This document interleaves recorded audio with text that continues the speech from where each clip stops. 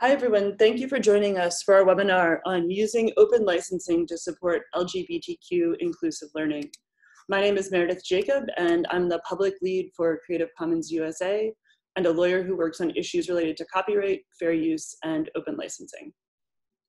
Uh, our webinar today is covering how to understand the ways in which open licensing can support and enable LGBTQ inclusive learning if we examine the sort of existing structural system and how to use the flexibilities enabled by open licensing to consciously make uh, change and improvement. So through this webinar, we're going to be talking about uh, open educational resources, which are teaching and learning materials that are uh, produced and then released under a open copyright license, usually a Creative Commons license. And these open educational resources can be any type of teaching or learning material like a traditionally uh, copyrighted one, but instead that are free for anyone to use or duplicate. And this freedom allows us, in theory, to create materials that are uh, more broadly representational and inclusive. But like anything else, if we don't examine the sort of existing um, structural power system and the ways in which that works, the tools themselves, the tools of licensing that allow us to create open educational resources will not automatically create a sort of more broad or progressive future. So to talk about the um, structure of using openly licensed materials to uh, do better work in LGBTQ inclusive teaching and learning, I would like to introduce my colleague Sabia Prescott. Sabia is a policy analyst with the Education Policy Program at New America, Prior to doing, joining New America, Sabia served as the Media Policy Fellow at the University of Pennsylvania's Center for Global Communication Studies. Sabia, uh, thank you so much for joining us. Thanks, Meredith. And hi, everyone, and welcome. I'm so glad to be here to be able to talk with you all. Um, could we advance to the next slide? So uh, as Meredith mentioned, my name is Sabia. I work um, at New America, which is a DC-based policy think tank. There I work specifically on a team called Teaching, Learning, and Tech. And most of my work focuses on how to use ed tech tools and open licensing to advance uh, queer and trans inclusion in teaching and learning, specifically in pre-K, which is what I'll focus on today. Next slide, please. So before I get started, I want to offer a little bit of language um, so that we're on the same page and so that when you hear these terms come up uh, in this presentation that you know what we're talking about. The first one is LGBTQ, right? It stands for uh, uh, lesbian, gay, bisexual, transgender, and queer. Um, this acronym and, and, any variations of it that you might hear or might have heard before are, of course, an umbrella term um, that uh, represent both gender and sexual, uh, sexual orientation um, identities. Another phrase for this is gender and sexual minorities. I like this one. I think it's a little bit more self-explanatory, but it's also a little bit less common. And then lastly, queer and trans, is just kind of another sort of informal uh, umbrella term for, for gender and sexual orientation uh, identities and people. Um, for the purpose of this presentation, I do sort of stick to these umbrella terms. Um, and then the last thing that I've linked here, I think the, the slide deck will be available um, after this webinar. And so I've linked um, teaching tolerance's full sort of laundry list of, of every every word and definition um, that, that you might want to know about LGBTQ identities in case you'd like to go there and learn a little bit more about that. Next slide, please. So what is LGBTQ inclusion, right? What are we talking about when we say this and, um, and what does it mean? So uh, some of the things that, I'll cover over the next 15 minutes or so are what does it mean, right? what are we talking about? Who are we talking about um, when we're talking about queer and trans students and teachers and educators and inclusive classrooms? Um, when is it possible? Just quick spoiler, it's possible always, every time. Um, where does it happen? Where can it happen? Where should it happen? Where doesn't it happen? And then lastly, why are we talking about it? And I'll actually start with this first because I think this is important for for ground setting here, right? Um, there, there sort of remains a, an egregious dearth of research on queer and trans students in schools and their experiences. But all the research that does exist would tell you that outcomes um, and experiences for queer and trans students are far worse, um, far below whatever whatever it is that you're looking at. Um, the outcomes are worse than they are for their non-LGBTQ peers. Um, they graduate at lower rates. They're bullied at higher rates. They see themselves reflected in materials and in the classroom far less. Um, and that's where we're going to focus today. Next slide, please. So when we talk about queer inclusive materials and resources, um, how I think about it are those that allow everyone, even and especially students of gender and sexual minority identities, to see themselves accurately represented and reflected both in the materials, but also in the classroom, in the type of pedagogy, in the um, instructional practices. I'm seeing uh, Rudine Sims Bishop cited more and more lately, it seems, um, for her idea of mirrors, windows, and sliding glass doors, right? And that's the idea that students need to see uh, need to be taught rather with resources that do those three things, right? Have mirrors, um, hold, allow themselves to see themselves reflected and represented in the curriculum, right? Ones that present windows for them to see into the experiences and lives of people who hold identities that are different from their own. And the last piece is the sliding glass doors, right, which actually lets them step into those experiences, empathize a little bit more, and really fully understand. Um, I think that this this idea extends well to LGBTQ students because they almost always see windows and seldom see mirrors. Right? They're never I don't want to say never, they're very, very seldom represented or reflected in the material. And this has a big impact on socio emotional learning um, and on the ways that they feel engaged um, and included in the classroom. And that, of course, has, um, has big impacts on the outcomes for LGBTQ students. Next slide, please. So when we talk about queer inclusive materials, right, what do they do? Um, what do they actually look like? When I'm thinking about queer inclusive materials, I think about those that promote gender diversity through pronoun use, right? Pronouns are really important to a lot of LGBTQ folks um, to see uh, content that offers a variety of names, which I'll talk about in a moment, uh, pronouns and language is really important. Queer inclusive materials tell stories across the LGBTQ community, right? Like every other group of people who have ever been categorized, there is no one LGBTQ experience or story or narrative. Um, and so truly inclusive materials present a variety of different stories within this community. Queer inclusive materials evolve with our understanding of LGBTQ identities, right?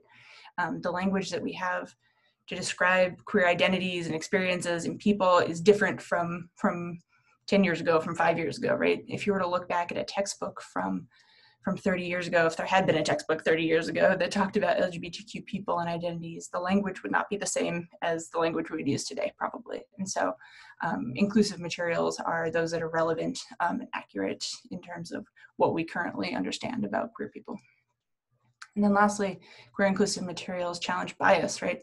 Sort of simply by existing, they challenge what we what we know to be natural and given and um, stereotypical, and sort of uh, work against those things in productive ways, um, in ways that are productive, I should say, to all students, not just to LGBTQ students. Next slide, please. And I think just just as important to note is what queer inclusive materials don't do, right, and what they don't look like. Um, queer inclusive materials don't rely on gender stereotypes, they don't rely on racial stereotypes, right? Um, sort of danger that arises when we include only one type of, of queer identity, only one type of story, only one narrative, is that it's sort of by default going to be that of the most privileged among us, right? And for queer and trans people, that's white, cisgender men, right? Um, to illustrate this a little bit, I, I have people tell me all the time that they like to show the movie Love Simon in their classrooms, right? If you're not familiar, Love Simon is a, is a coming of age story of a cisgender white uh, teenage boy, right? Um, who, as he turns out, his parents are, are accepting. They're a nuclear family. They live in the suburbs. it's sort of um, it holds all other things constant in a way, except for gender, um, except for his gender and sexual orientation. And so um, it's not that that's not a good or productive story that we should include, but it's not the only one. And when that is the only one um, that you include in classrooms or in materials or in examples or word problems or whatever it looks like, um, that sort of becomes the idea that is associated with an entire community of people and sort of cancels everything else out, right? Like that's it, that's the queer story. Um, relatedly, queer inclusive materials uh, don't portray only this one type of queer identity. Um, one of my favorite authors, Chimamanda Ngozi Adichie, uh, gives us great TED talk about the idea of the, her idea of the single story narrative. And it's sort of this, right? That when we have one story um, that is the only story that is allowed to exist or allowed to be told about an entire group of people, that that just becomes the only story, right? And all the other nuance, all the other identities and types of experiences of people who hold um, any identities within the umbrella of LGBTQ um, are sort of forced off to the side and not not told ever. And then lastly, queer inclusive materials don't include LGBTQ characters and examples without culturally relevant context. Um, they don't simply replace pronouns and names um, that are understood and assumed to be a particular thing and represent a particular person without understanding the sort of the cultural context and the examples um, that are used in that in that content or in those word problems again or whatever it is um, at the same time. Next slide, please. So what does OER have to do with this, right? Where does where does open licensing um, come into play when we're talking about queer and trans inclusion? I know this is not a sort of logical um, bridge in a lot of people's minds, but I think it can be a useful tool. One of those reasons is that anyone can access and adapt OER, right? As Zoe will talk about a little bit later, um, there are fewer gatekeepers in OER, right? And so more people have the chance just by virtue of it being open to um, author stories, author content, create and curate content, even offer things like framing and um, and just sort of thinking around particular ideas because it's not just one or a small handful of people who who are writing a textbook, for example, um, who are sort of deciding this narrative. The second is that, again, OER can be adapted and updated to reflect an evolving understanding of LGBTQ identities, right? It need not be outdated in the way that textbooks often are. And so I think for this uh, for this population specifically, it's actually a really useful tool for that. And then lastly, OER is just becoming more widely used, right? It's this thing that more and more people are using and, and everyone has access to, and we ought to make that thing that everyone has access to quality. And in this case, quality means inclusive. Next slide, please. So what do we do with this, right? How do I make my materials inclusive? Um, and I want to offer these sort of three types of inclusion. Um, and this can be used, I think, whether or not you're creating uh, materials yourself, you're writing the content, or you're looking to make them more, you're looking to make open materials um, more inclusive because they're adaptable. So the first is gender language, right? Um, names and pronouns are a big piece of this names can be a little bit tricky, right? Because anyone um, with any name can be any gender. Um, but that said, certain, especially outside the queer community, certain names are sort of read and understood as particular genders. So uh, offering or including rather a variety of names and pronouns in content can be really important for students.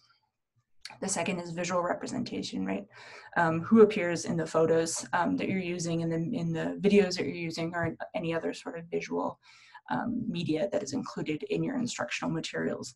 Um, again, there's a way to do this without without tokenizing people in videos, and that is to to make sure that you have a wide variety um, of people, uh, not just LGBTQ people, but um, everyone in your videos to the extent that it's possible, and also to the extent that it's um, you're not just sort of substituting um, photos and videos with with uh, people that you think should be there without actually changing uh, your content as well and making sure that it, it makes sense together.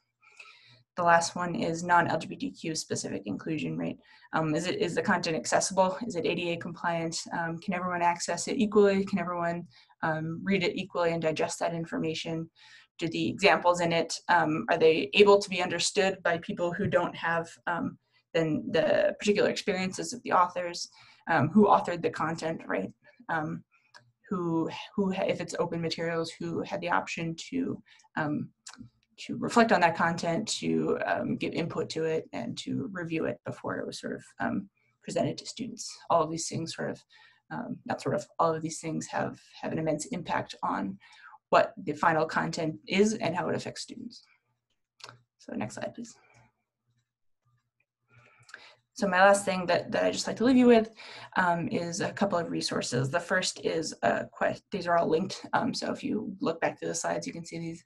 Um, the first one is just a list of questions beyond the ones that I just very briefly presented um, to ask of the content. Again, when you're, when you're looking at it, when you're considering creating content or considering making existing content more queer and trans inclusive, um, these are some questions that you can ask of the content to make sure that you're sort of um, hitting different benchmarks in terms of inclusion. The second and third are um, a little bit more in-depth uh, reports and um, series on inclusive, using OER rather, for LGBTQ inclusive teaching and then learning. Again, I've linked Teaching Tolerance's glossary. It's a really great one-on-one place to start. And then the last one is a list of uh, just sort of more broad uh, LGBTQ pre-K-12 specific um, education resources um, that I curate uh, based on what I hear from folks is most useful. So hopefully that'll be useful for you as well. And that's it for me. Thanks so much. Oh, sorry, there's one more slide. it's just my information. And so on the next slide, we just have uh, Sabia's contact information. And as we mentioned earlier, uh, these slide decks and the recording itself will be available next week on the link that we put in the chat.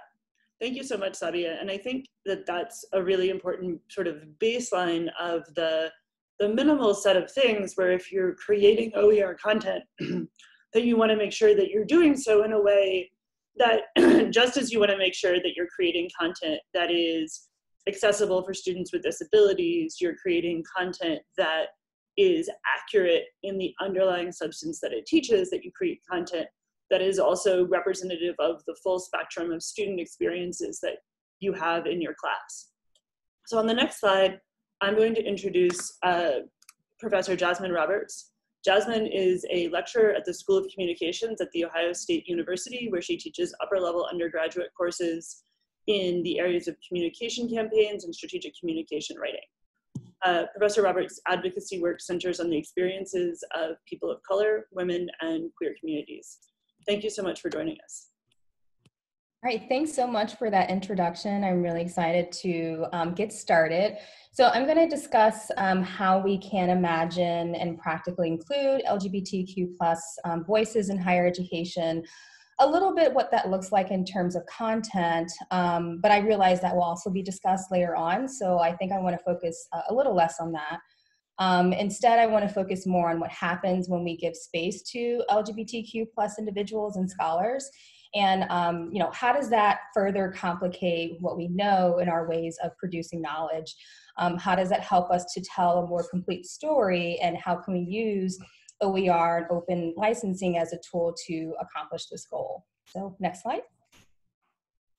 So a statement I get all the time from people um, within and outside of academia is, where did all these gay people come from? Literally that question. Um, it seems like, you know, it's increasing or something. There's something in the water. And, and to that, you know, those type of questions, my response is always, we, we've always been here, you know, and, and the same goes for LGBTQ plus individuals in academia. Um, we've been here, and, and there is a, little bit of evidence of that.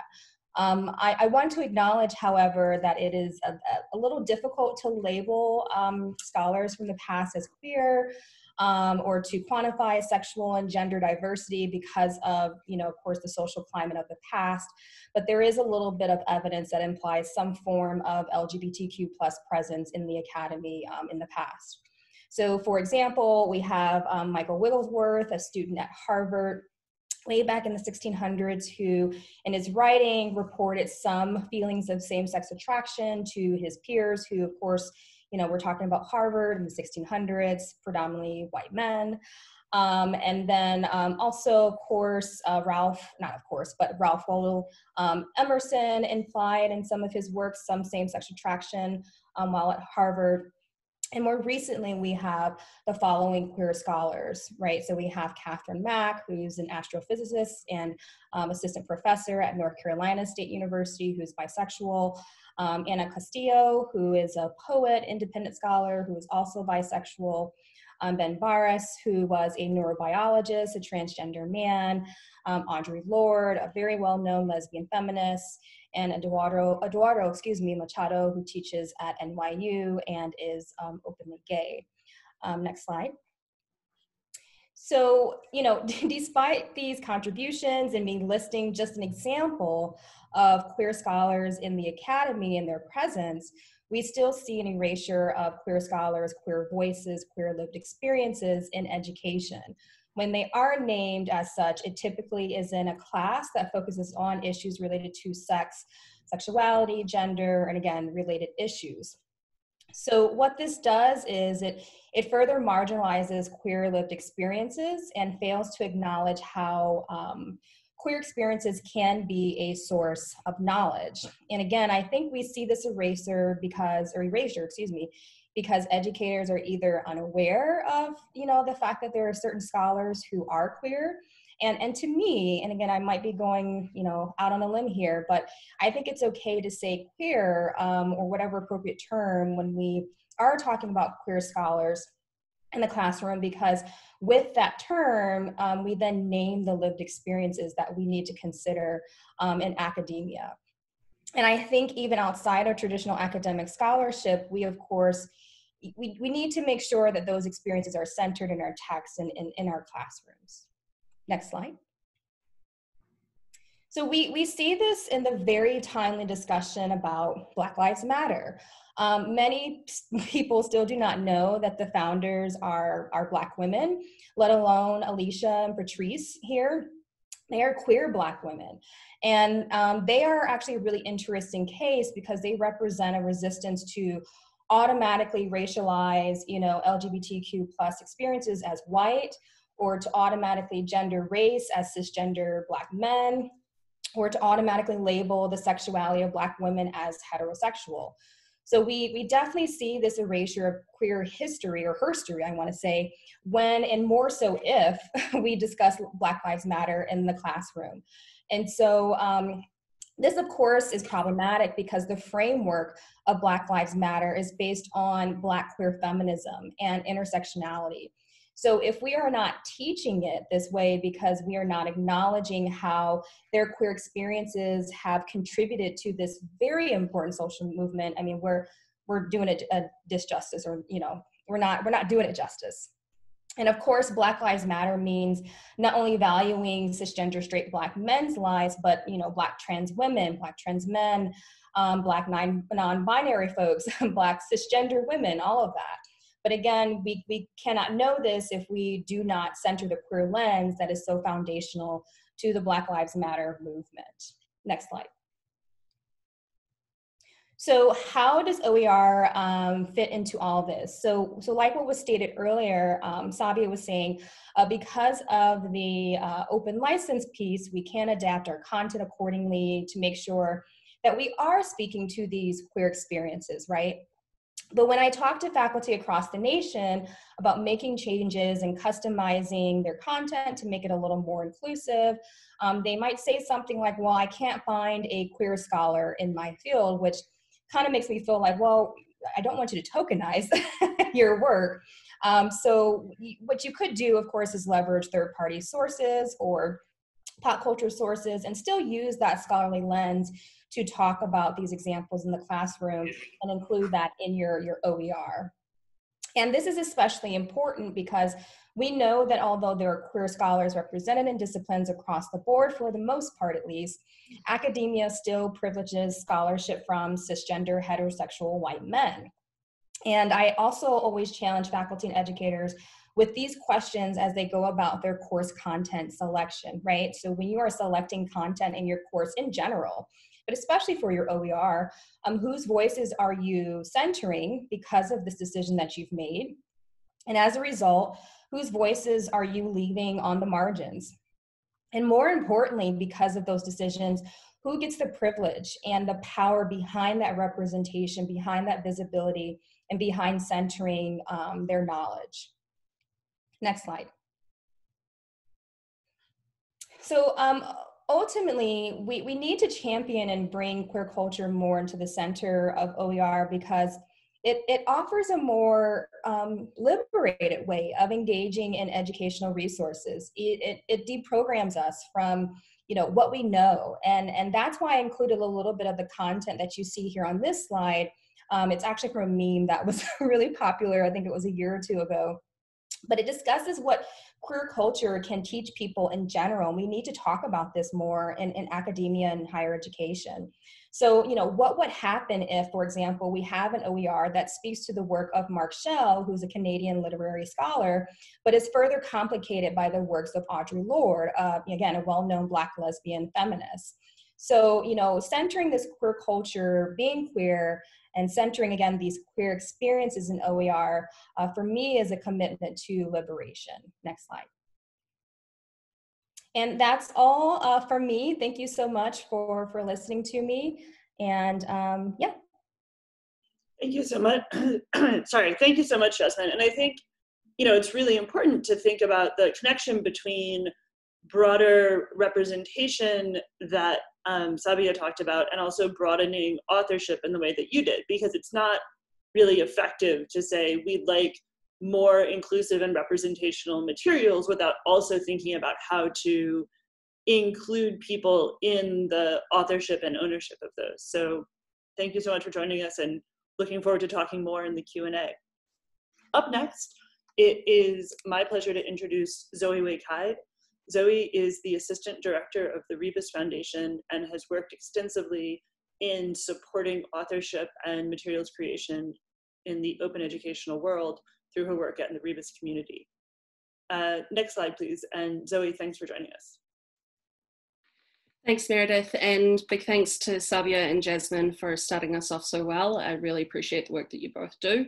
Uh, and so I'm going to be talking a little bit about uh, creation and publishing specifically. So how does the, the kind of materials that we really want to see uh, get made um, starting with the opportunities that are created in the OER space, but also considering some of the barriers that remain. Um, and for, for queer creators, but also for, for others uh, looking to do this work, because it's certainly not all on queer creators to, uh, to create inclusive content. Next slide, please. Thank you. So to start, the huge advantage of OER uh, that I see, or certainly one of them, is that it does away with traditional gatekeepers.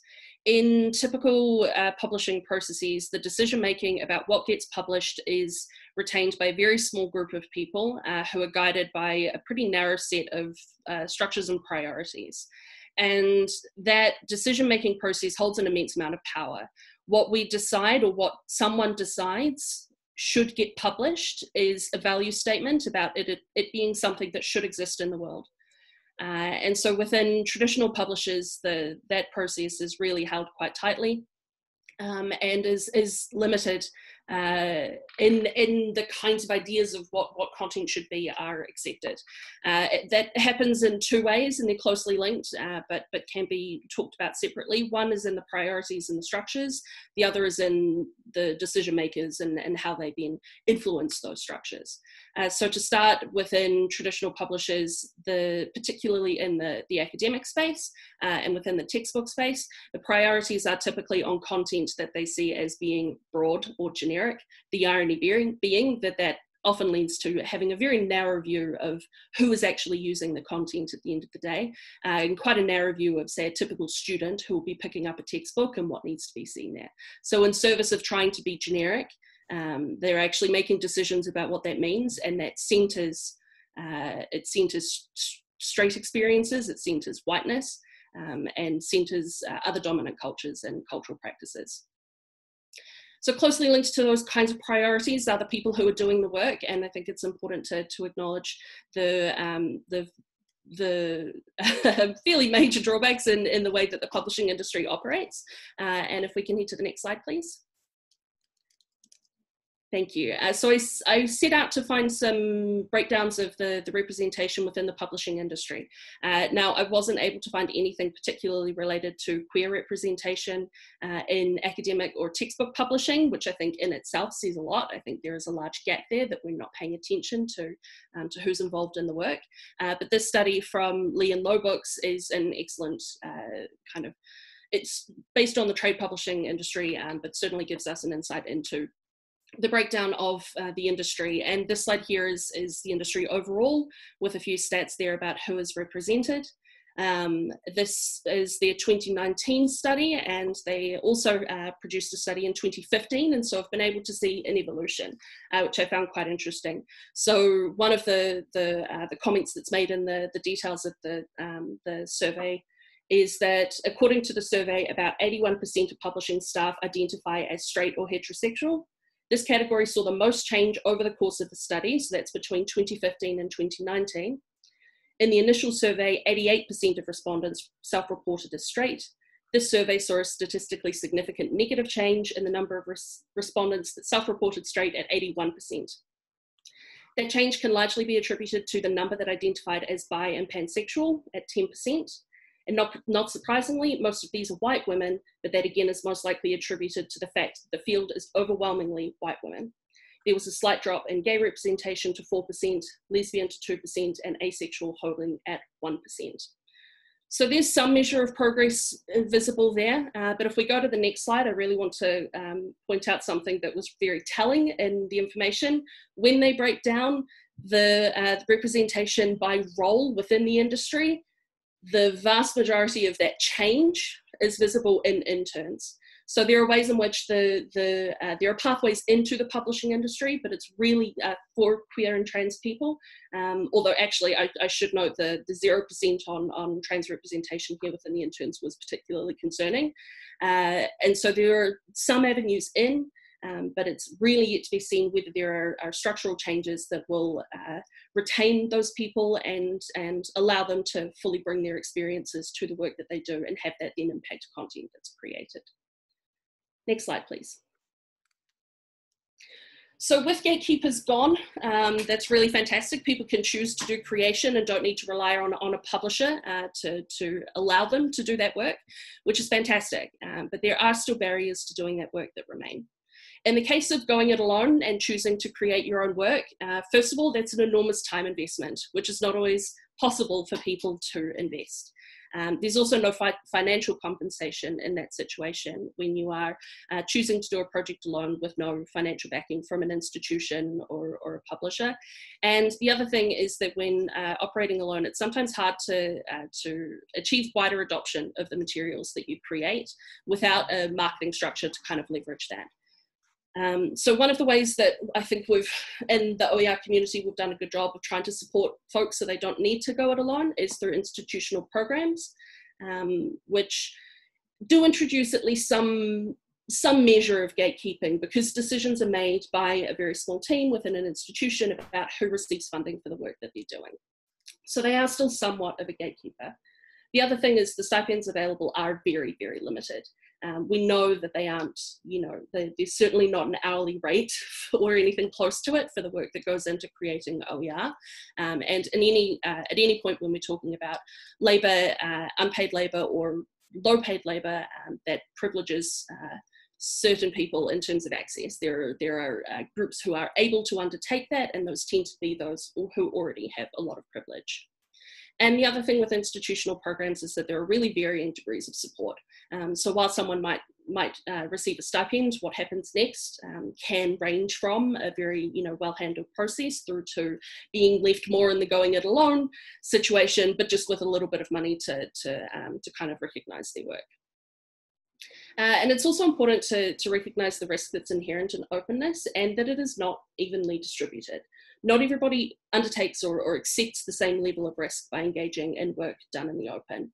Again, this intersects with, intersects with precarity in academia, those who are able to give the time. Um, there's also, you know, I think in, in the it, with questions of queer representation, there's a history of misrepresentation. Uh, and so it's understandable that there is a, a, desire by many in our community to want to control the narrative more than has been they've been able to in the past. Um, and so that can introduce some some tension or or, uh, or concern or hesitancy around doing open work. Um, and it's hard to sum this up in a way that doesn't seem flippant, but the internet exists. When you're doing work openly, that means an amount of public work as well. Uh, and there's a real risk um, involved in that of uh, all kinds of repercussions, both personal and professional, that can come back on somebody engaging on that kind of work. Um, and then finally, there is also uh, a risk that I've often discussed and heard discussed in the context of accessibility, where because an open text can be remediated to become, you know, to be more accessible or to be more inclusive, uh, I, I always have the concern that that then comes across as well, I don't have to do that work because somebody else can. And that's absolutely not the case. First of all, because we all have a responsibility to do this work together. It's not on just the queer community to create inclusive content. And also because it is harder to do in the, the remediation uh, phase rather than building it in upfront. If we ensure that content is inclusive from day one and make sure we have our, our structures around publishing and creation uh, geared towards that goal, um, then the, the content that comes out the end of that process is much stronger um, and, and requires much less work to adapt to any given context. Next slide, please. So next I wanted to explore some ways in which we can include queer creators within uh, the OER work that is happening. And this is particularly targeted at uh, folks who are running um, institutional programs. And so wanted to run, run through some strategies to ensure that you are supporting um, as best uh, you can queer creators within your community, uh, within your campus community. So it starts with recruitment. Um, one place to start is with the language that you use in a call for proposals and spend some time workshopping that to ensure that it is uh, specific and inviting uh, proposals from uh, people in all underrepresented um, groups, but certainly in this context uh, for, for queer creators. There is a world of, resources available to help you do that, um, typically around things like uh, uh, job postings. Um, so you can leverage the same kind of input to create an, an inclusive call for proposals. It's also important to develop relationships on campus. And, you know, I said with peer groups, I think really how I think about this is doing the work of being an ally outside of your OER recruitment process, essentially. So if you put in the work to be involved with queer groups on campus, including student groups. Um, do the work to make sure that whenever you're talking about OER, you're talking about it as an avenue to create inclusive classroom environments. If you're consistently doing that work, that gets recognized and seen. Um, and so people aren't, uh, you know, coming into a process and, and not really knowing what reaction they might get or, or what treatment that might get.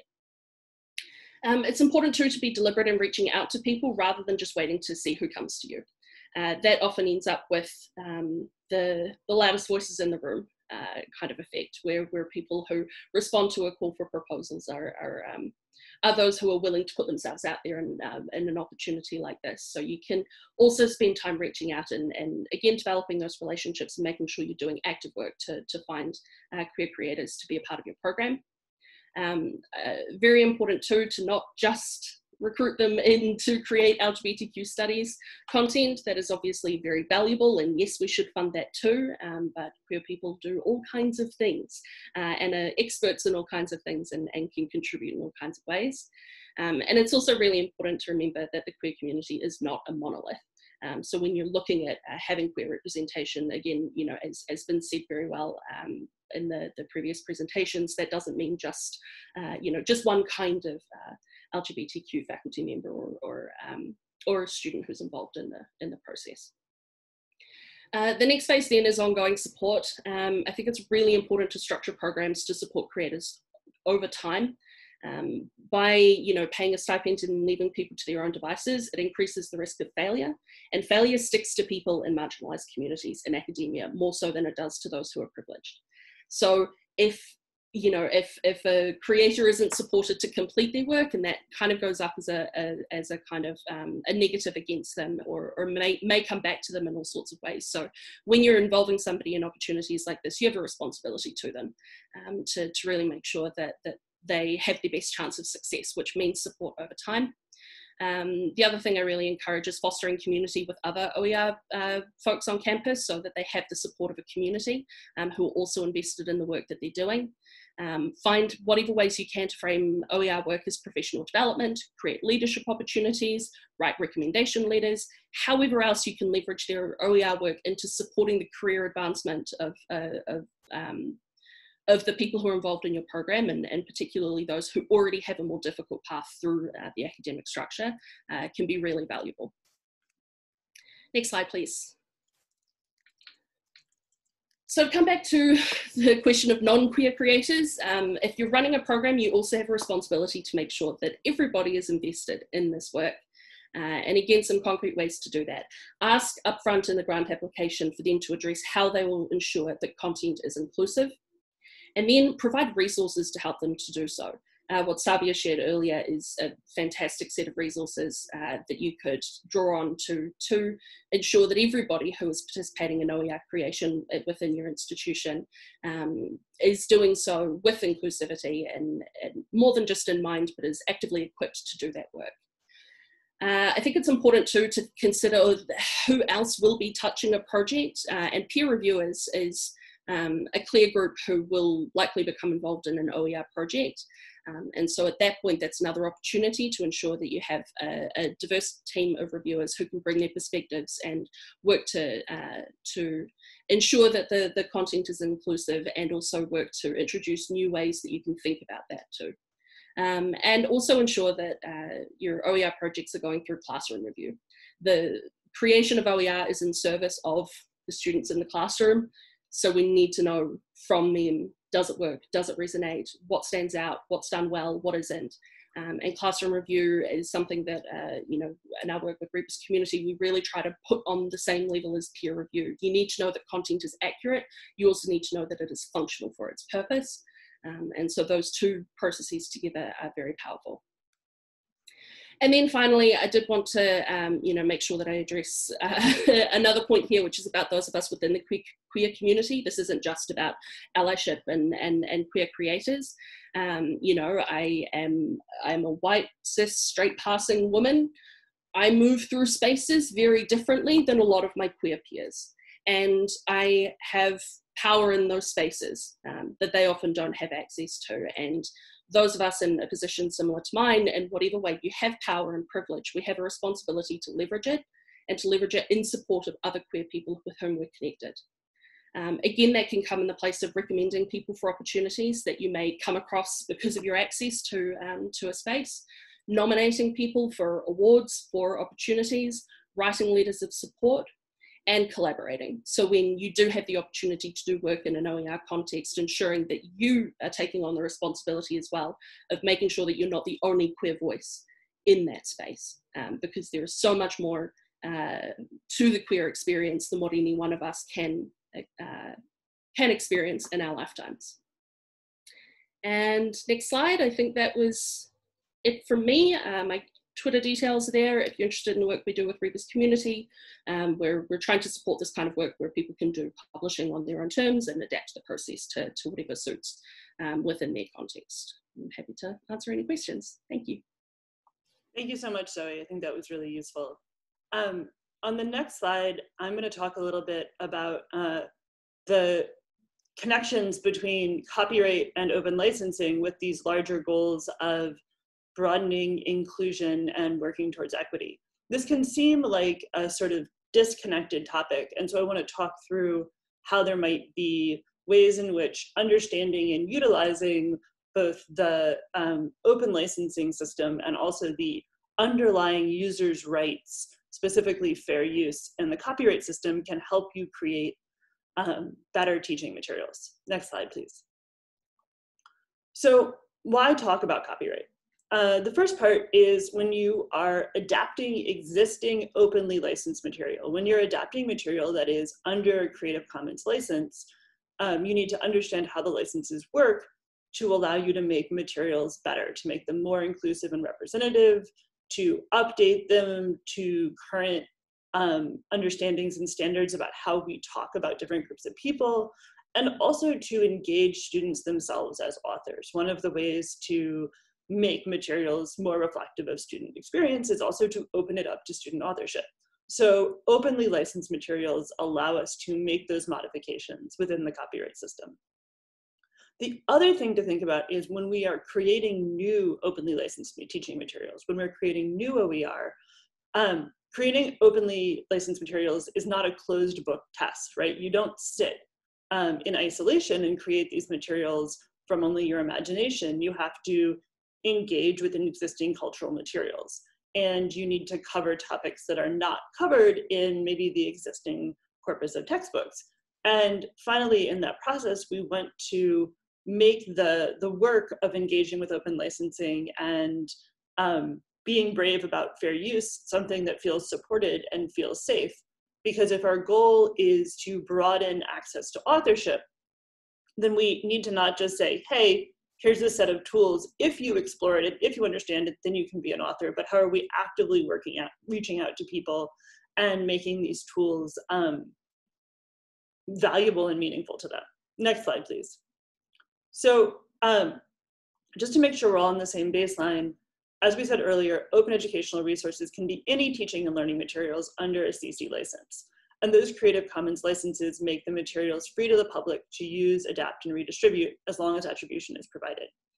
Separately, in the creation of materials, if you want to engage with existing third-party copyrighted stuff that's not under an open license, the primary way you'll do that is to rely on fair use, which is a doctrine in US copyright law that permits the use of third-party copyrighted materials in specific circumstances.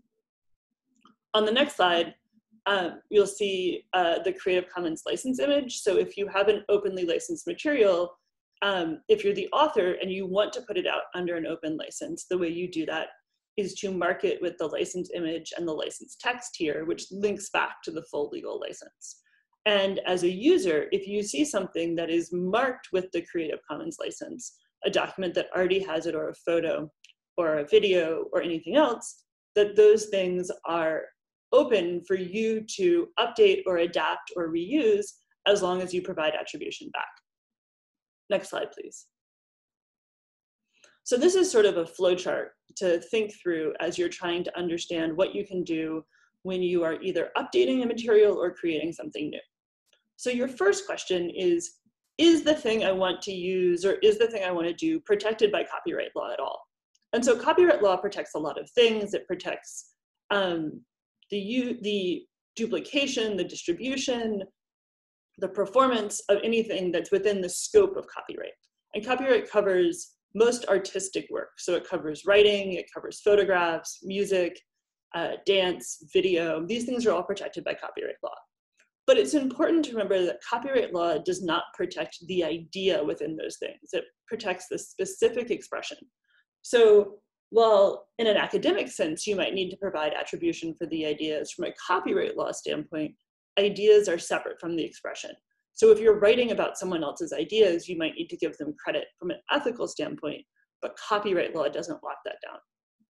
Um, also, many works created in 1924 uh, or earlier are in the public domain, and those can also be used for free um, without any copyright restrictions. But um, as was mentioned by earlier speakers, you don't want to let uh, copyright risk be the way that you make your choices about authorship, right? We know a lot about how materials that are in the public domain, materials created before 1924, are going to reflect a very um, narrow segment of society that had access to authorship. If we want to create materials that engage with the broadest possible cultural experiences, we need to not just limit ourselves to things that are in the public domain or things that are so old as to be not protected by copyright. We also need to engage with existing materials. And so if you want to engage with something that is out there in the world, that is modern, and that reflects um, the lived experience of your students, you may need to rely on fair use. Fair use is a user's right in the US copyright system that allows you to use third-party materials in specific situations, including for critique and review and educational purposes. We're gonna talk about that a little more, um, but just as a reminder, even if something isn't fair use, if it is out under a Creative Commons license, you can still use that material in its entirety. Next slide. So if you're evaluating, say you're creating a, um, a lesson on the history of film and you want to use clips from different movies to talk about how something is treated in film. Two core questions that you have to ask yourself to evaluate with fair use are, are you doing something new and different, something transformative? And is the amount you're using a part or the whole appropriate? And if the answer to those is both yes, then it's unlikely you're providing a substitute in the market, which is the only sort of market harm factor in fair use. So this is sort of deep in the copyright uh, nerdery and seems really disconnected from these questions about inclusion, equity, and justice. But the reason I think it's important is very often people sort of self-censor and choose a sort of um, blander, more uh, typical or sort of dominant culture view of all of their examples because there's this hesitance to rely on a broad sector of real world examples. So um, there's been questions in the chat of, you know, how do I start if I'm not a member of the LGBTQ community? How do I do a responsible job of representation? One answer is to do the work of going through this fair use analysis and to include examples that exist already that are out there in the real world of people with different identities representing themselves, of not trying to sort of create. Often, I think in OER, there's this urge to avoid copyright confusion by creating your own new substitution. But I think um, authenticity and authorial voice is really important. And so that substitution can end up um, sort of muting or narrowing the actual sort of range of lived experience. Uh, next slide, please. So if you said, okay, I do want to use this example, I think it enriches my materials, it makes them more representational, it improves the inclusiveness, you need to think through implementing that fair use. You need to think through what is your purpose, what is your pedagogical purpose, including uh, your purpose in terms of broadly speaking to your students' experience. Then you ask yourself the question, is this a transformative purpose? Is it different than the purpose for the original? Often this might be the original had a pop culture performance or a news documentary performance, or it was in literature, and here you're using it for an educational purpose. And then the question of whether it substitutes in the market for the original. For most teaching purposes, these questions will come back to what is your pedagogy, including the social emotional component of that. Um, once you've made the decision to include third-party materials, you need to document what's under your open license and what's excluded because it's being used under fair use and identify those third-party materials and you can um, also document what your reasoning is. Next slide. So at that point, we've sort of tried to provide a baseline of how to think through fair use questions um, and how they can really allow you to create teaching materials that are broader and more representational, um, and how also, while open licensing allows a um, sort of de-institutionalizing of authorship, of spreading it out, of making authorship available to more people, um, that if we don't work through sharing power and rethinking sort of traditional hierarchical assignment of authorship that the tool itself will not do that for us. So we have about um, 25 minutes left for questions. I'd like to introduce two additional commentators who will join us for questions, and then we'll go to some pre-submitted questions and also questions in the Q&A. Joining us for the Q&A session, we have um, Mo Nyamweya, who's an open educational coordinator for SPARC. in this role, she provides support across SPARC's open education programs with an emphasis on grassroots organizing, communication, and advocacy. She's most passionate about equity and supporting marginalized communities. We also have Will Cross, who's a lawyer and librarian and serves as the director of the Copyright and Digital Scholarship Center at NC State University Libraries. I have some prepared questions, but I wanted to offer um, Mo and Will an opportunity for any comments before we go into the question period.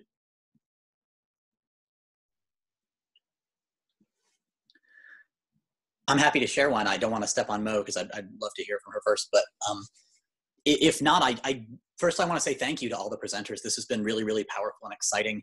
And I want to sort of restate and reaffirm a couple of things that I heard in the space. Uh, I'm currently working on an open educational resource that's a textbook, and this question about um, making something that is that reflects many voices and many experiences is something that we've spent a lot of time wrestling with.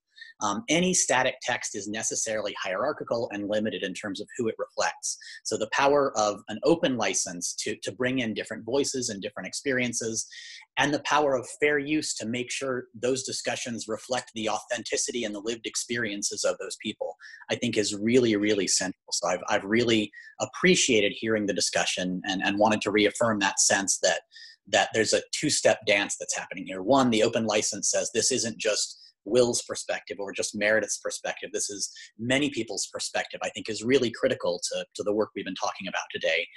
Um, and then the, the ability of fair use to say, and it's not just somebody you can get permission for. That if, that if I'm asking a student in my course to, to talk about their lived experiences and they say something that's important to me is a song that's been popular in the spring, sorry, that doesn't have an open license. You can't talk about that. You can't play that. Um, it, it, becomes less authentic. So I, I, really appreciated this discussion. It's, it's really uh, been a great way of talking about the importance of the open license and fair use sort of coming together to make a more um, what uh, Rajiv Jhangiani and Robin DeRosa call empowering, collaborative, and just architecture for learning. Thanks, Will. Mo, thank you for joining us. Do you have any comments you'd like to add before we go to questions? Um, you're muted, I think. Thank you. Um, yeah, I just wanted to really reiterate what Will said. Um, this was a really excellent discussion, really important, always timely. Um, so thank you for putting this together.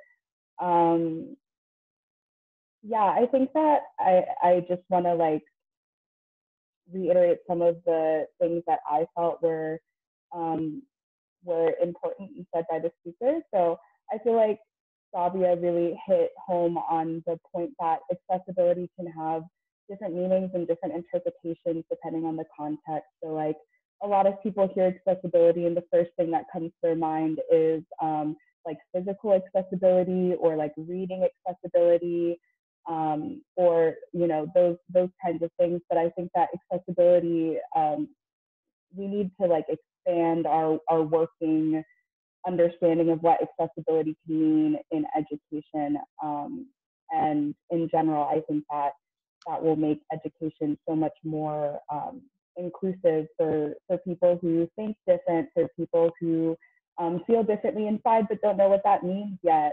Um, so yeah, I think that that was a really important point. And then um, Jasmine's point of, of kind of like if we were to take history at face value from traditional textbooks, you would think there were no gay people, and that is so true.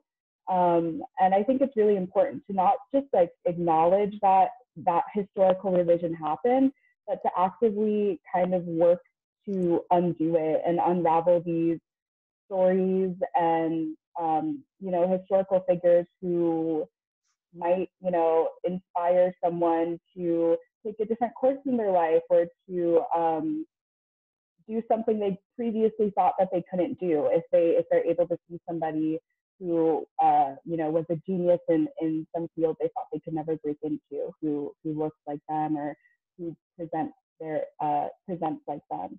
So um, yeah i think that queer people deserve to know their own history and um, also everyone can learn from from queer culture. The idea of chosen family, I think, is is really important, um, and and and everyone everyone can learn from concepts like that, um, just as we have learned our whole lives from heterosexual culture. Um, and yes, that those are those are my thoughts. But yeah, this this was a really great discussion, and I'm excited to get into questions. Thank you. So for the questions, I'm going to read them out loud so they're available for the recording. And I would encourage panelists um, who want to respond to go ahead and unmute themselves and jump in. Um, so uh, there's two questions in the chat that talk about um, how for people who are um, allies to this effort, but not themselves LGBTQ identified, to sort of support this work and there's a question in the chat of how to, if you want to work towards broadening authorship, how to do that um, in a way that doesn't sort of disproportionately burden people who um, self-identify as queer. And so reaching out to broaden authorship without sort of um, pigeonholing people or sort of putting the burden of being sort of representative of their communities on them over and over again. So um, I'd open this up to any of the commentators, and I think one maybe baseline thing I would say is, you know, we know right now that the ways we assign authorship disproportionately value seniority.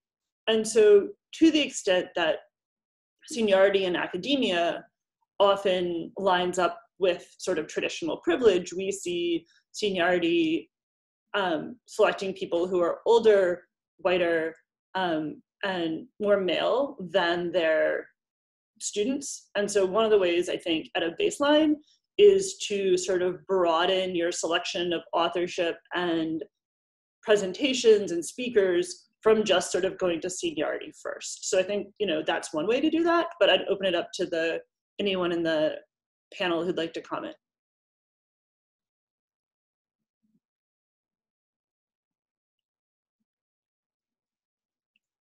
Zoe, do you have any experience in your program of trying to sort of recruit and support authorship to think through that question? Yeah, I, you know, the the pieces that we kind of deal with in community are largely about creating a space that is welcoming in lots of implicit ways as well as explicit ones and i think that principle can be applied to to other areas so in in the kind of the work that we support uh, somebody has undertaken to to create an OER of some kind and are then tasked with putting together with the team and sending out recruitment materials and all these different things where there you know there are ways that you can build in explicit calls for uh, you know for queer representation in your team make that a priority. Um, but you also have to be showing that you're doing that in lots of other ways as well.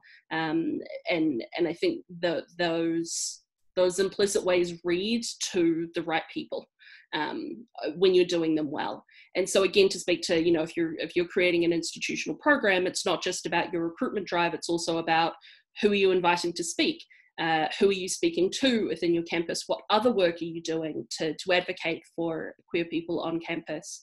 Um, all those ways are are kind of complementary and and in showing that the, you take the work very seriously um, that you're not just doing it to to tokenize to check a box of oh well we need to have some some queer authors. So there's there are lots of ways that you can build out that space as i say that that, in, that invites participation and supports it um, in lots of ways beyond um, the, the checklist approach. Thank you. Um, another question that we got in the chat was for people um, in a community that is just starting to think about um, OER and creating OER and teaching materials, um, what is, if you're a person who is trying to start the conversation about inclusion, what are the ways to do that? Um, I was wondering, Sabia, if you could talk about in the K through 12 space, what, you know, as you're, for example, working in a materials evaluation standpoint, or you're working to select curricular materials, what are the ways to maybe start the conversation about whether or not those materials are um, inclusive? Yeah, absolutely. I think I have two answers to this. The first one is that, um, sort of unfor- unfortunately, excuse me, the the the burden, I guess, um, of creating queer and trans inclusive materials in K twelve, at least, often falls on queer and trans teachers and school administrators if if they are there in that particular school. Um, and so those are the folks who are sort of most affected by, by um, a lack of inclusion, uh, sort of taking on that work in schools. And, um, and I only say unfortunately because it, it is a lot of work to do all that, but um, a lot of schools do have groups. I think I saw referenced in a question if you're not part of like an LGBTQ group or something similar. Um, a lot of schools do have groups like that, whether it's a student group or like a teacher advocacy group or something. Those are probably less common, but um, but I think both is the case in both K-12 and in higher ed. Um, there's there's like some sort of group or person, even if it's just an individual individual at a school who's thinking about um, these issues. And so, starting by talking to those folks or that person at your school, or your institution, um, is, I, I, think, a good starting place to see what work has been done um, if you don't know yet, and uh, if there's a way that you can help advance the, the other work that they're doing, or if you have ideas that you could bring to them as well. That's my first answer. My second one is that inclusion, right, as a sort of broad uh, idea and in whatever ways that we're thinking about it um, can can be in every conversation in every setting um, and in all materials. So whatever conversation it is that you're in um, just bringing that up um, can be helpful in helping you find out what where other people are at in this but also in normalizing um, queer and trans inclusion just in conversation at your institution for example. So um, those are sort of the, the my two ideas around that.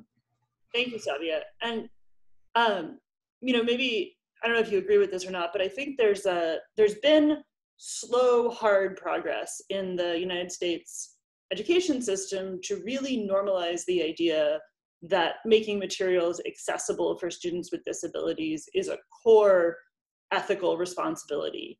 That you know this is not something that has always been true but i think that you know if you come into a committee to review materials or committees to talk about teaching materials and you bring up the point of i don't know if these materials are accessible for all of our students with disabilities that's a concern that generally people feel obliged to respond to mm-hmm. and i think that part of this is just pushing the you know questions about what you can do as an ally is to just keep pushing that question not necessarily having the answer to like this is how we do it but to say we have to ask this question um, and I think that'll be a you know that is a process. But I think there are ways in which tying questions about inclusion and representation um, to questions about other minimum standards we require of our materials. So this isn't sort of an optional social justice campaign, that it is a core standard for the materials that we use is a is a process, but it's not something that I think people can keep asking that question because that has a power in itself. I think it also helps to to raise these issues um, and this perspective even in in every conversation that you're in which sounds like a lot of work and it, and it can be but but the more it's done again the more it's normalized and um, particularly in rooms like Zoe mentioned, um, this this idea of straight passing, which is a very real thing. And as someone who's sort of visibly stereotypically queer, um, people people see me in conversations and spaces and panels and whatever it is and they sort of feel obligated to talk about this because they're making you know assumptions because they feel like a queer person is in their space and they have to talk about this.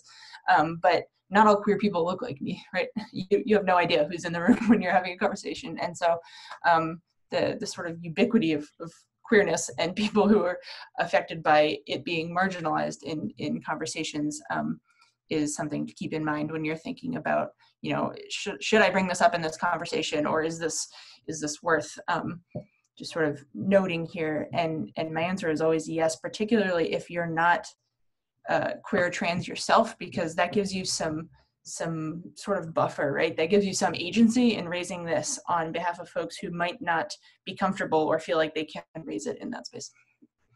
Thank you. Um, Another question I wanted to talk about that had come up in uh, the chat and also in some questions earlier, and might be a question that Jasmine, I would ask if you'd be willing to give the first response to. Um, you mentioned this briefly in your slides, but it's really important, I think, not just to look for um, OER about queer studies or to look for um, LGBTQ authors for sort of niche topics, but to acknowledge that um, identity and experience and diversity matter for sort of teaching across the spectrum that whether you're teaching history or psychology or biology or um, a sort of broad range of different substantive disciplines that diversity of authorship matters. Um, would you be willing to talk about that a little bit and the ways in which um, OER has the potential to improve author diversity if we sort of actually work through, as you and Zoe talked about, the, the hard work of supporting a broader group of authors. Yeah, definitely. I mean, um, you know, going back to my point, it, there's really an academic responsibility here that we have to make sure that we're at least trying to achieve because you know sometimes i hear this from faculty including you know some of my colleagues well what about um, you know academic autonomy and all of that. Well again there's there's also to that an academic responsibility that we have to uphold in making sure that we're not just serving one group of people um, in, in academia and in education as a whole including k through 12 um, and, and maybe i'm being a little repetitive and not necessarily answer the question but there, you, you do have to um, do the work. And I, I think that is also um, you know sometimes a barrier that we see. Um, in terms of trying to include other voices that we typically do do not see, including uh, queer voices and what have you. Um, so there's there's that issue that we we obviously um, have to deal with.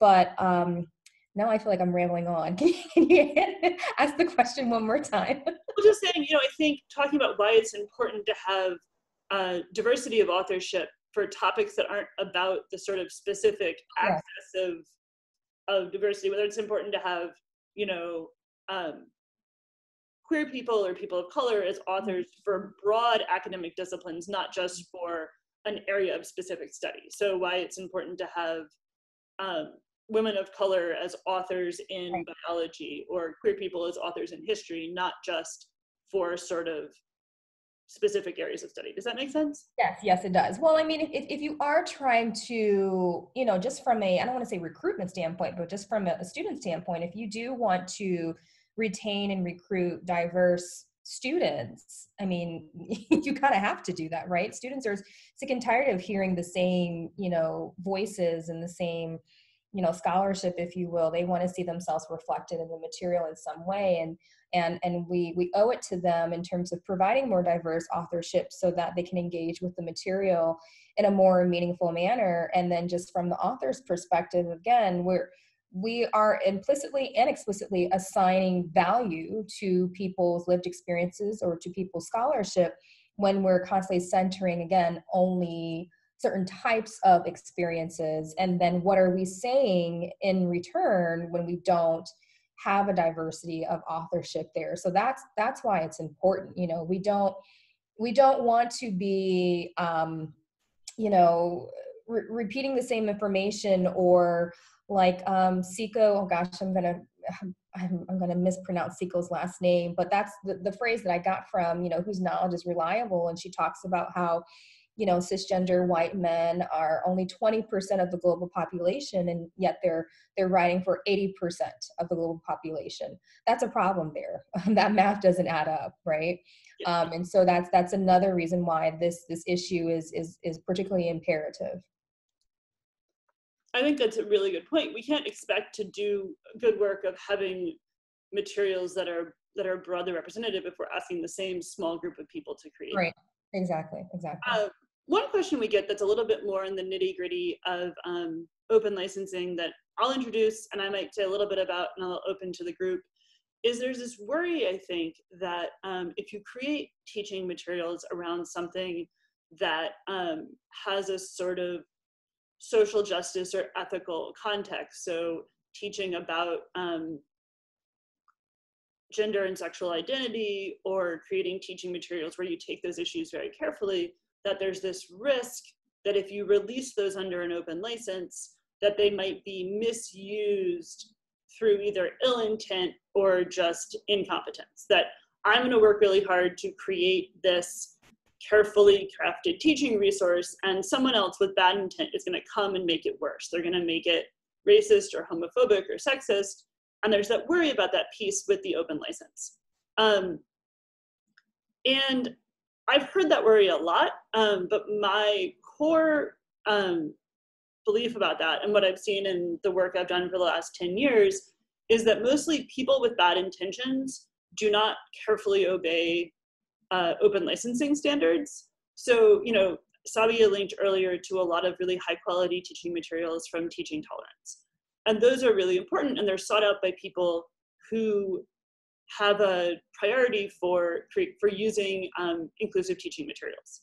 If that's not your pedagogical focus, if you have a very different view of that, if you want to teach sort of very traditional conservative um, content, you're not going to start with those materials and make them worse. You're going to start with material that is um, sort of more traditional or conservative in the first place. So I don't think we see a lot of that bad faith reuse, um, and I don't think specifically we see it enabled by fair use or by uh, uh, open licensing. Sorry.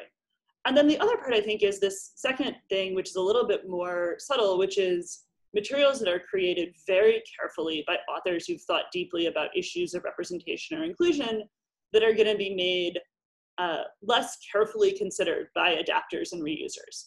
And I think that is possible, that, you know, materials that you've created very carefully will be changed. And I think two things are true there. One is all teachers change materials when they deliver them, whether they're under an open license or not, right?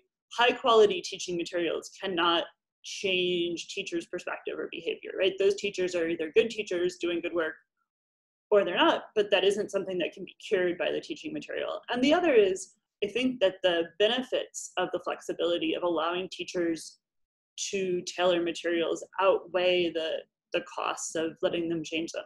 Um, but I know that, uh, Sabia, you've heard this concern before. I don't know if other people on the call have, but I'd be open to hearing any sort of perspectives or questions there. Yeah, I'm happy to. Um, I have heard this question a lot, almost every time that I go to a conference and talk about this. Um, and it's a, like you said, Meredith, it's a valid concern, and um, and it is a possibility, right? You people people can change these materials for better or for worse. Um, and I think I think even more what you said is is true also that that folks sort of um, who have ill intent are not going to first seek out teaching tolerance resources as a starting point um, for their racist and homophobic materials. But I think uh, maybe more often than that, the concern is that people who have good intent, um, but who haven't done quite enough of the work to um, to get it you know quite right are going to try to manipulate these things in ways that are going to end up being more harmful than um, than helpful. And this is this is a risk too i think like like you just said. And um and to that i usually say that um you know the materials are not the entire solution. They're not the thing right? They're the vehicle for the thing. And the thing is um, better pedagogy. And so I, I would suggest that just teaching teacher training is um, is just as important a piece as the resources and the materials themselves. Um, and that's something that we're thinking about constantly too um, at New America about what you know high quality teacher training looks like, as particularly in the K-12 context. But I think it's relevant for higher education too, um, because there's you know there's queer content that is like queer history and books centering queer and trans um, protagonists that are their stories about them. And then there's sort of all the other content and the other subjects that are out there that can also be made to be inclusive um, that aren't sort of specifically like queer about queer identities explicitly. Um, and and within that sort of large scope of content there's there's all kinds there's like a big spectrum right of of how inclusive or who you're centering or all of these things um, that sort of change within that. And so um, it takes a lot to understand that. And like this is work right? Like it's it's work to understand these things and um, and the work doesn't really end because because our understandings of queer and trans people you know evolve um, like like was mentioned earlier. And so um, all of that is just to say that the teacher training is a big part of this too. And um, and that's why i think that groups at at your institutions at your schools whatever it is who are already doing this work, if those groups exist, are a good place to start and a good place for um, maybe to be a resource. Also if you're the person creating these resources and putting them out to ensure that uh, maybe other folks at your school your institution who are looking to use these um, can do so in a way that is as um, helpful and productive for students as you were intending it to be. Thanks. If i might chime in a little bit um, yeah, I, absolutely. I, I think sometimes that question, and again, maybe I'm making some assumptions here. I think sometimes that question can also, you know, obviously addresses the issue of quality, but I think sometimes, at least in academia and higher education, it comes from a fear of sharing, right? So in, in, in higher education, we publish in closed journals. Um, you know, a, a lot of our stuff is closed. It's very insular, and that makes us feel safe about our work. And when you put that open license on it it's like oh wait wait wait wait wait wait wait. So i i have to share this now with the public? Oh no no no we don't do that in the academy. Um, so I, I i think there's a some conflation going on there sometimes that um, educators in higher ed aren't realizing that yes there is the issue of quality which is always so interesting right? You know anytime people think of something that is free or openly licensed they automatically think that it's poor quality. And i've I've bought some textbooks um, that aren't that great, you know, and I still had to to buy them. But anyways, um, I also think there is this with that issue of quality. There is also this feeling of I'm scared to share my work, or I'm scared to, you know, there's some instructors who are scared to even share their syllabi, you know, on a public website. So I think there's a little bit of that going on as well. Yeah, I think you're absolutely right that putting it out into the open license means it sort of goes out into the wild and you have to tolerate all of the uncertainty and exposure that that means. Um, Jasmine, there's a follow-up question in the Q&A about quality and the perception of quality in higher ed, which is that, you know, one uh, sort of gatekeeping function that happens is that uh, in higher ed, we have a lot of really established ways that faculty evaluate and perceive quality and um, wanted to see whether you thought that was one way in which sometimes uh, queer voices are like suppressed or devalued because it's a different perspective and because that that difference or that critical perspective isn't valued in higher education. Have you seen that at all? Yeah i, I do unfortunately um, with a lot of the journals or even you know editors of books that we're using here a lot of them tend to be um, you know, white, straight, um, gendered as cisgender male or man. Um, so, you know, there's that. The gatekeepers tend to have those type of identities, and then you know, there seemingly um, appears to be an unwillingness to even try to learn that there's another way of thinking about a concept uh, or proven upon a concept in your particular discipline. So I definitely think there's that. Um, I also think there's this, and again, I'm, I'm kind of radical when I say this. I think there's this notion in, in higher ed that um, if something is peer reviewed, that means it's high quality. Um, and I'm here to tell you that, I, again, I've never been an editor before for a journal, but I have colleagues who have, and they've told me how they were very frustrated that, you know, in more ways than one, um, you know there was a research study that was approved to be published when they didn't think it was of, of high quality. So i always caution faculty to you know really interrogate this notion of peer reviewed as a you know um, solution to the quality cost. I'm not saying that we should not go through the peer review process but there are other ways in vetting the quality of educational materials. Thank you. Um, and then we're about closing up, but I wanted to go back to something that Sabia had said about how this is work. And I wanted to recognize that it's work to improve our teaching materials and it's work to improve our pedagogy, but in one way or another, whether it's um, acting as an author or doing um, training or serving as a leader or reviewer in a program, a lot of that work falls to queer people. And I think it's important as we uh, evaluate, and this is in context of open, is to be really deeply skeptical of volunteerism. A lot of the um, core values of open educational resources are really tied to sort of volunteer work and doing things for free. But um, you know, in Zoe's charts, we saw that the the intern population was more diverse than the editor population, but interns are often either unpaid or underpaid. And so as we do this work, I think it's important to be aware that it is work to voice these issues, it is work to do educational work, and that having money in the same way that we pay for um, other areas of support or evaluation, paying for um, training for professional development for people to be reviewers, that that pay is often really important, um, particularly when we're asking people who have um, traditionally been marginalized or who may not have the same um, sort of ability in a late career professor to do things for free that I think that's really important. And I was wondering whether um, any of our panelists, um, Mo particularly, I know you've thought about ways to support um, people doing work. Mo, Sabi, and Zoe, anyone, Jasmine would like to talk about that.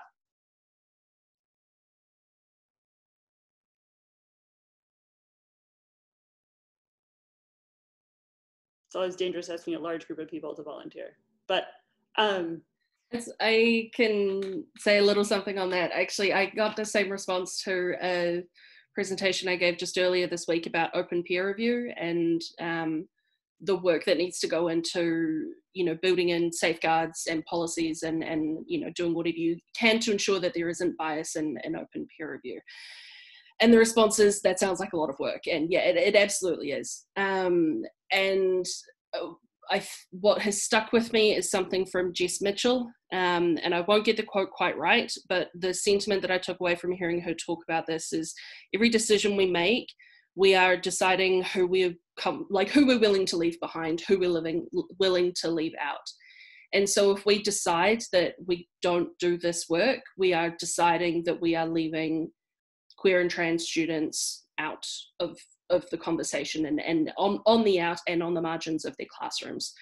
So we ch- have to choose to do this work, acknowledge that it is more work than the alternative, but the alternative includes other choices, essentially.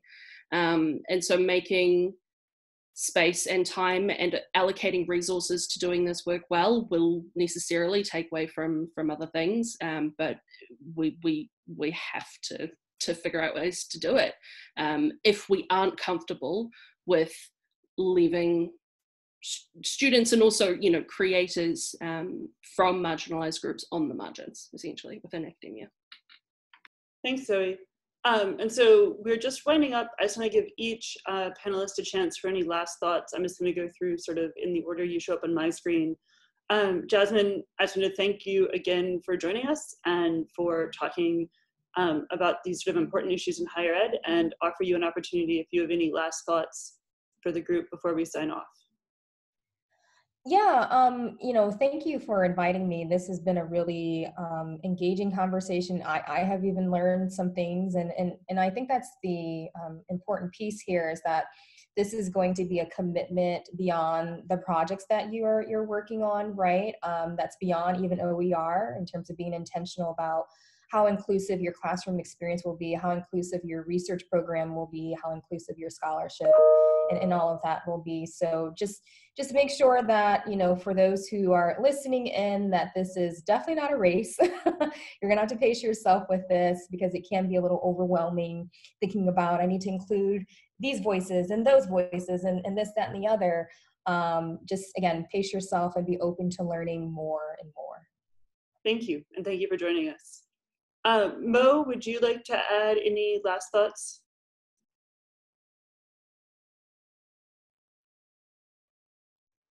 I was on mute again.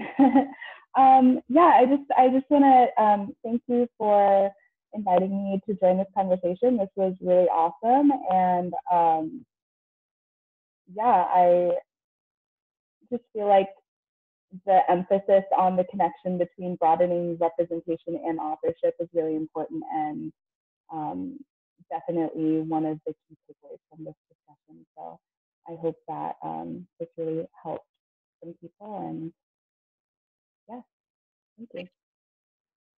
Thank you so much for joining us. Um, and uh, Zoe, would you like to add any last thoughts? Yeah, just uh, really like to thank the the others on this panel and and you Meredith for the opportunity. As Jasmine said, it's you know we're all still learning in in our different ways on this, and I I certainly am. Um, I think I've joked before that I do queer OER work because anything I do is queer in a way, but I don't always necessarily apply this lens to it. So it's it's been a really wonderful opportunity to do that, and and I hope there are some things that people can take away and take as their first steps um, and applying the and applying uh, what we've discussed to their own work. Thank you. Um, Will, would you like to add any last thoughts? Just to echo what, what others have said, that thank you all so much for, for sharing this. This has been really powerful and really exciting. Um, that the idea that, that this is always a work in progress, that we're always sort of iterating and getting better is, I think, core to, to all of the work, whether it's the open licensing stuff or the inclusion stuff. So I, I love the, the sort of harmony between those, those areas of work. So thank you for keeping, continuing to do it. Uh, Sabia, would you like to, as my, my co-organizer, give your last thoughts? Sure. I, will echo everyone else and say thank you to, to all the other panelists and thank you to all the attendees who took the time to join today. It's encouraging to see so many people show up for this and, and want to be learning and talking through um, some of the challenges of this work because I know there are um, there are a lot. It's not just uh, something that happens automatically or overnight or easily even. Um, and I, I want to underscore uh, a word that Jasmine just used too, which was intentional. I think for me, uh, the key to a lot of this work is that is doing it with intentionality, right?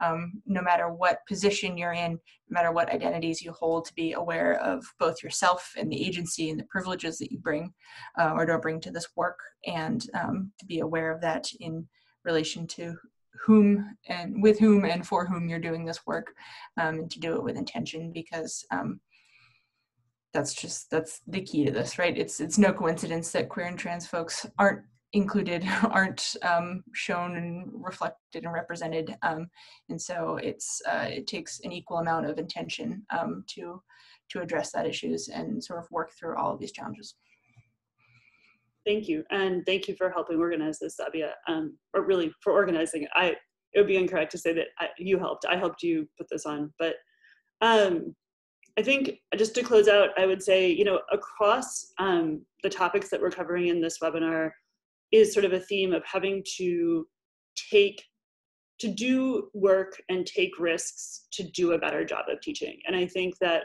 whether the, the work you're doing is understanding and engaging with um, open licensing and copyright or the work you're doing is to sort of reevaluate your teaching and your materials about whether or not they are um, supportive and effective for your students by being inclusive that that work has to be tied to your mission to doing good teaching. And so i think that sabia's um, statement about you know keeping in mind for whom you are doing this work is really crucial. So thank you all for joining us. Um, we're going to end the webinar now and the recording and the slides will be up uh, next week. Thank you all